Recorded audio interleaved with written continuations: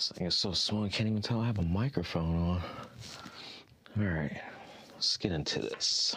Now, you know I love my PTZ cameras. I'm looking at one right here. I'm looking at one right here because they give you the flexibility if you have a small or even a solo team to be able to move these cameras in so many different directions with either a remote control or using a dedicated joystick controller.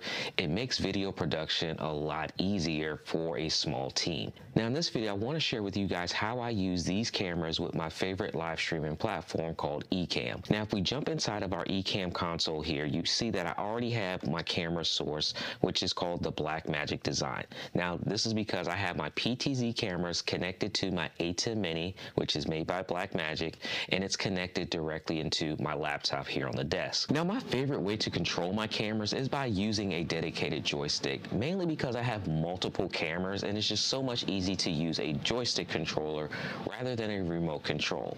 But there's something really cool that you can do in Ecamm if you don't have a whole bunch of cameras. And even if you do, you can still do this. For those that primarily only have one or two cameras, this is going to be something pretty cool. One of the downsides of having just one single camera is that you have one shot. You can zoom in and you can zoom out, but you're really only working with that one camera. What if you wanted to make your one solo camera look like three distinct different cameras? Well, I'm going to show you how to do that inside of Ecamm. We're going to go into our AB Sources tab here under Camera switcher and we're going to create three different sources here. We're going to select camera A and make it our Blackmagic design. We're going to select camera B and make it our Blackmagic design. And we're also going to scroll down and make camera C our Blackmagic design. So as you can see, we have three cameras that are all showing the exact same thing. But inside of Ecamm, I'm gonna go into select camera A and go into our camera effects setting. This is where I'm going to actually use the Ecamm version of zoom and pan. So I'm gonna create a close-up shot and put this in exactly where I want it to go. So let's get our headroom there.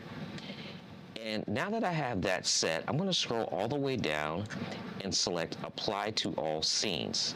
And I'm going to select apply to all to confirm.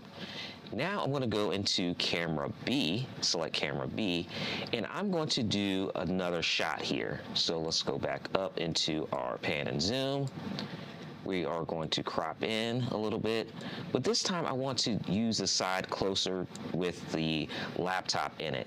So I'm gonna crop and move it over a little bit and scroll down and select apply to all scenes and apply to all to confirm it.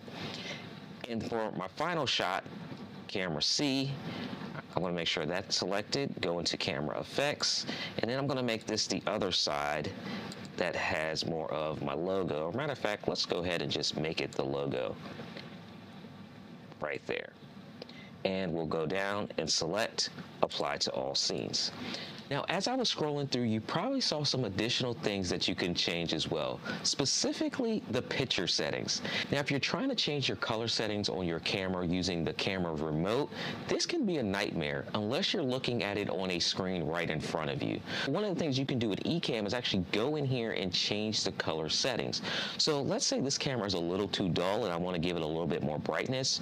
All I have to do is just pull up the brightness meter here and I don't even have to go into the camera settings to do this. I can do this right inside of Ecamm.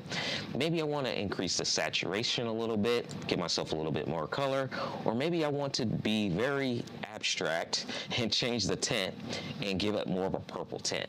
So you can see that I can actually go into Ecamm and actually do this rather than trying to go through my camera settings and stumble through the menu system.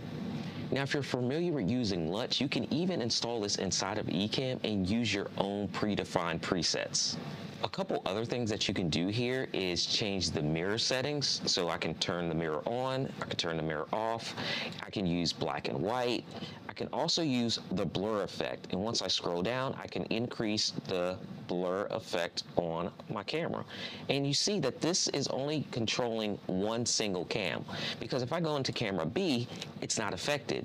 So, you can actually have three different types of cameras just from your one solo camera source, which is pretty cool to give you more range in what you can do as a solo or small team operation.